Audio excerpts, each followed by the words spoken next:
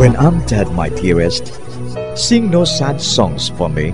Plant down no roses at my head, nor shady cypress tree. Be the green grass above me when flowers and dewdrops wet.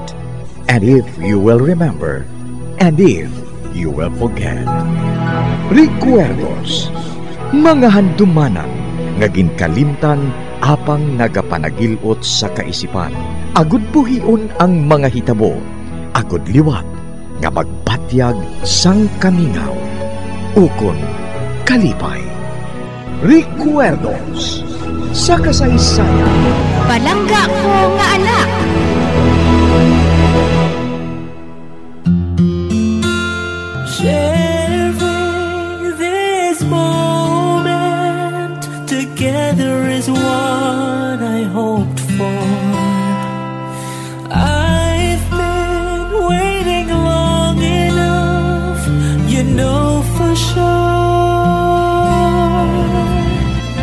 Kagkaron sa kasugpon sang aton sugilanon diri sa Recuerdos sa kasaysayan. Palangga ko nga anak.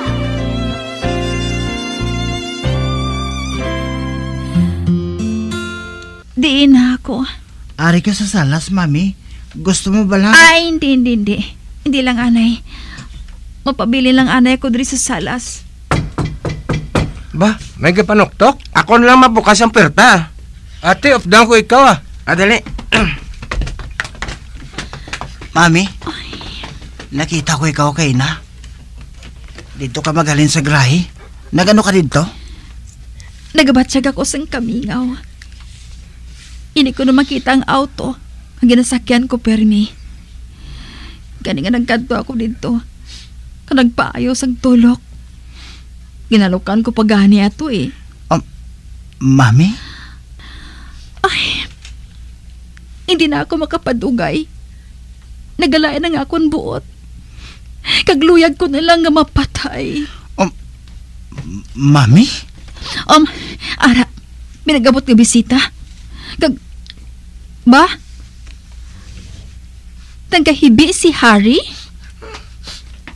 Kailan? Ay, si Daddy. Si Daddy kag si Vanessa. Naksidente. Um, ha? Ano nga aksidente? Naksidente sila. Nagsuot ang salakyan ni Vanessa sa idalom sa truck. Ang kinanglan niya, alsahona na yung salakyan. Agod nga makuha dito sila sa idalom. Hindi. Sir, dali ka mo di sir ah. Um, Mga alagad sila sang kasuguan. Mamangkot sila sa aton, parte sa ng tabo. Ah, sir, amo ning akon, tiya siro. Kag ah, ang akon nga pa kaisa. ay, di na si Arturo. Ngayon di ninyo siya kaupod. Harry? Nga nga nagkahibi ka. Ano natabo sa inyo? Oh, Mrs. Ining... Ikaw ang ginapamangkot ko. Di na siling ko si Arturo. Nga ay, hindi ninyo siya kaupod. Minatabo pala sa iya. Si Daddy kag si Vanessa, patay na sila Chailin. Nakabunggong ila sa lakyan sa dako nga truck. Kag patay na sila. Um, napatay sila? Hindi ako magpati. Si Don Arturo Azul di Alba mapatay? Hindi ako magpati! Hindi! Hindi! Oh, ba? Mami? Na, na, nagahiliwod ang yalawas, oh. Kag naga, mo, gatululo yalaway. Ano nga tapos sa iloy mo? Ha, Arthur? Ginatake naman sa siya, kuyap. Amoy nang kakatabo siya. Sang una, nagamo man na siya. Sang makaibalo siya nga patay na nga ako na may. Ah, ano ka? Kay dalawang siya sa kwarto. Kinanglan niya makapaway siya. Kinanglan niya ang doktor. Ate, manawag ako sa doktora. Ah, sir? May mo ba lang ah, mapaligad lang anay ninyong pagpangusisa ninyo sa tiya namon? Ah, kinanglan niya sa bungang doktor mo. Ah, sige, sige. Ugali na kami magbalik dire. Ah, condolence na lang sa inyo.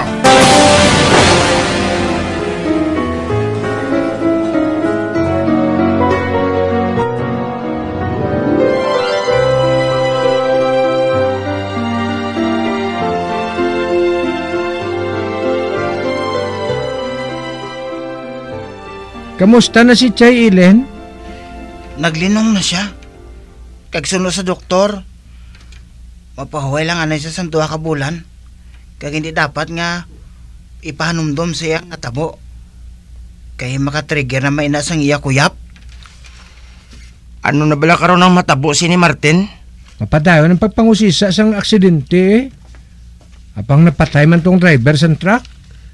Kag sila nga duwa lang ang makapamatuod ko nanong natabo. Te, subong. Wala na sang witness. Wala na sang witness nga matindog. Bahin sa aksidente nga to.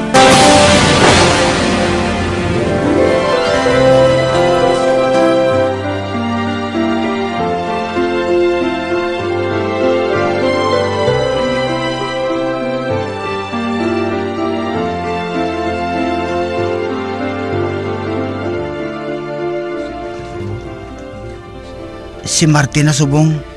Ang ginatawag Don Martin Asol de Alba. Ang bago nga pangulo sa mga di Alba. Sunod siya. Madamo ko no sang responsibilidad ang among nga mga ranggo. Apang batuno niya sa luyag niya kag sa hindi. Apang nga bala nga daw may nabatsyagan ako nga hindi amo. Kinakos niya ako.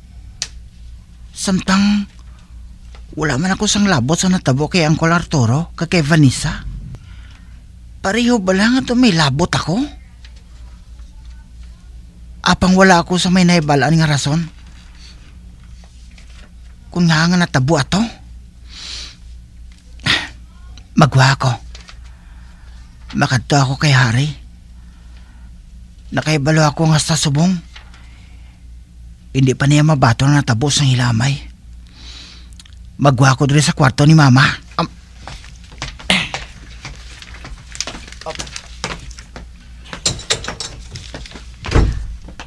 Oy, nagwa si Arthur. Oh, saved by the bell. Hindi na ako makahalin sa balay nga ini.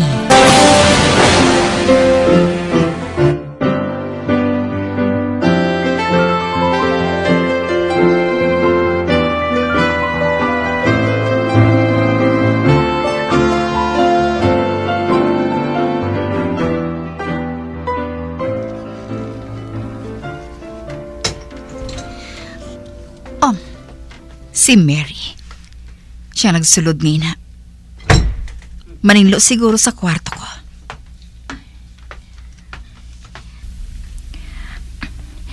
Ma'am? Ma'am? Nagabugtaw ka na bala? Hindi ako magsasabat. Mabalik lang ko di karon ah. May kinahanglan ka bala, Mary? Mm, ba? Ma'am?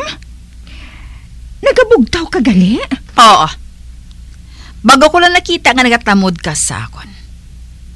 Ano ang kinahanglan mo? Nagsiling si Martin nga tanawon ko ikaw. May mga pulis dito nga makighambal sa imo. Mga pulis na naman? Maano sila sa akon? Mangusisa sila sa natabong aksidente sa ilan ni Sir Arturo kag ni Vanessa. Sila nga sila nga ara na ako. Magwa na ako. Ate, oo ma'am ah. Nga ba lang hindi ako paguntakan sa mga pulis nila. Hindi sila gihapon magpati. Nga wala ko sang labot sa natabo ang aksidente nga to.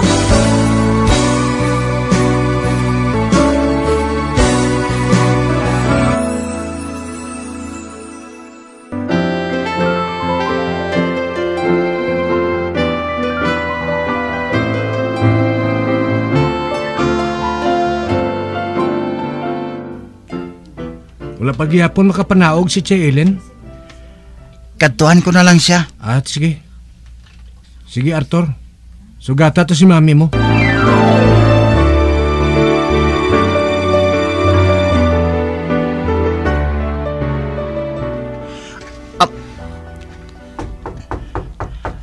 Mami! Mami! Ako ini! Wala siya nagkasabat? Masulod na lang ako ah. Um, Mami? Um, ba? Hindi! Si Mami? Nagaligid sa salog? Um, eh. Mami? Ah, ba? Nagalalaway siya? Bago hindi siya makasugilanon? Ah, Mami? Hindi. Ginakuyab naman siya. Nabudlayan naman siya. Hakwaton ko sa siligtaan. Um, karon, ibutang ko ikaw diri, Mami, ha? Um, ah, ah, ara na. Napahigda ko na ikaw liwat, Mami. Oh, sige, sige. Magpahuway ka na lang, anay diri. Pabayin na lang ang mga pulis nga to. Paibaloon ko na lang sila sa natabo sa imo.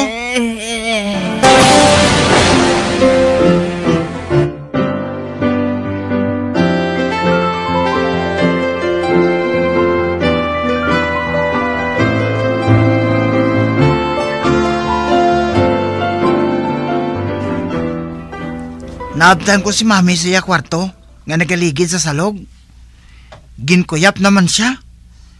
Nagahandom na siyang magpanaog apang hindi madalas ang lawas niya. Hindi bali. Kadamo pa sang tion para dira. Kinanglan nga magpaway ana si Chay Ellen.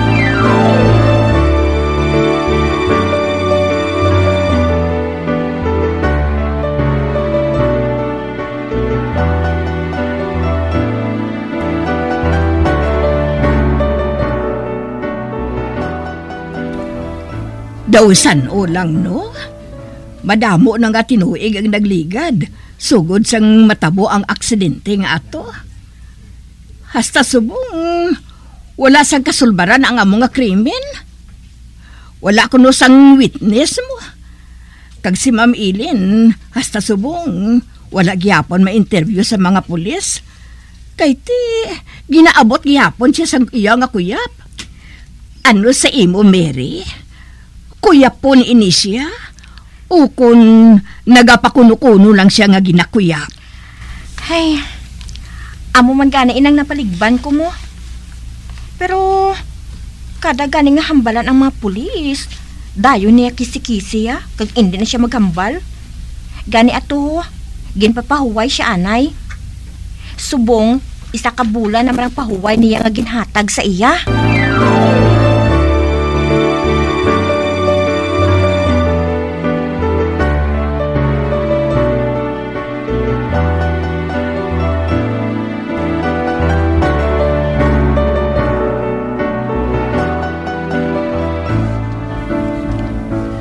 Mike? Oy! Art! Ikaw gali? Saan ka na kay Balunga nagpauli na ko? Nakita ko kayo kay ina nga nagalakat pa uli. Gani nagkanto ko dahil diri simo. Oh, gani. Kamusta na si Kari? At mayo man si Kari. Kag nagapadayon siya sa pagtuon bilang isa ka sekretarya. Kag kabati na lang kita pilakadlaw nga nagatrabaho na siya sa isa ka maayo nga kompanya sa syudad. Um, Mike, mahimo ba lang isiling mo sa iya nga ginapangita ko siya? Aba, oo! Buhaton ko na, Meg. Ihambal ko na kay Kari. Kag Mike, nabaton ka na gali bilang trabahante dito sa isa ka factory? Ah, oo. Nabaton ako dito. Kuna mo, hindi ka na magtrabaho diri? Kag hindi ka na magbalik? Ay, mabalik ko. Di man, ari man diri si nanay. Eh, kinanglan nga, duawon ko man sila sa masami. Kag makita ay manggihapon kita liwat, Meg Arthur. Ah, Meg, hindi na ko magdugay, ha? Amo na ko. Oh, sige Mike. Ah, Ato na siya. Kaayo gid lang kay Mike. Madamo na sa lugar nga labutan. Samtang ako iya, wala gid. Ari lang gihapon ako diri. Kag nagapadayon sa akong pagtuon. Kung makatapos na ako sa akong pagtuon, mahalin mo ako diri. Papasimpalad ako sa ibang lugar. Pareho kay Mike.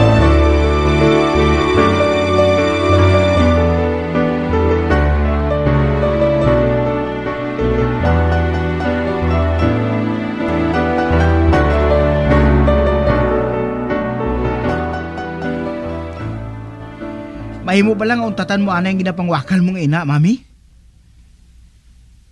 Wala ka sa ginabuhat. Kundi magsagad wakal parte sa imo buhaton parte kay Kari. kung magpadayon ako sa pagpakikita sa iya. Ang gira malapit na. Kaya ikaw wala sa ginabuhat. Kundi ang plano mo nga buhaton bato kay Kari. Wala ako sang labot kung may gira nga gindeklarar ako wala. Mas interesado ako sa imo sang sa mga tao nga wala sang iban nga handom kundi yung patsyon ang pareho nila nga tao. Wala ka pa bala kahangop kung ano ka para sa akon? Ikaw na lang ang nabilin para sa akon. Ang nabilin, agod may paglaom pa ako nga makatindog kag mangin bulahan sa pila ka adlaw para sa imo. Hindi ako magpasugot. Nga usikan mong kabuhi mo. Bangod lang sa isa ka babae nga sa bagsat pareho Hindi magtawag nga bagsat si Kari, mami. Isa siya ka bagsat. Kag hindi ako pagambalis ang mo sina, ha? Magluwas nga wala ko sa bisan anong nga mahimo kuning para sa imo kayuhan. Ako ang imo iloy. Kag maayo pa nga patay ako. Sang sa usikan mo ang kabuhi mo sa isa ka babay nga sa bagsat. Tagliwaton ko sa pagsiling. Bagsat siya! Ba naghalin siya sa pamilya sang bagsat? Tanawang iloy niya. Kang iban pa nga tao sa pamilya niya. Inipagbuhatang ginbuhat ni Mike kag ni Mary, ha? Si Mary istupida. Bisan pa nga maayong trabaho niya. Maayo lang nasang sa muchat sa kagasta lang inadira. Makita man sa nawong niya nga tusos siya. Kada kay balo ako nga nagabulig siya. Agod makita mo permi si Kari. Luyag niya nga ma-establish man ang iya kaugalingon sa balay nga ini. Hindi ka magpaminsar sang bisan ano, mami. Nakahibalo ka. Nga wala kita sang labot sa balay nga ini. Kung magpangasawa ko, hindi ako mag-star sa balay nga ini. Kag ikaw, mami, kung mag-abot ang adlaw nga mga asawa si Martin, amo man gihapon ang matabo sa imo. Kinahanglan nga manaog ka sa nahamtangan mo. Kag mangin isa ka nga housekeeper o kung maglayas ka sang lubos sa balay nga ini. Ba, wala siya makambal sang bisan ano. Kag nakita ko, nga daw nagawiit ang iyanawong. Bayaya ko. Apang ginapaandaman ko ikaw, ha? Mas pasulabihon ko nga mapatay ka sang sa mapuslan sang babae nga ina.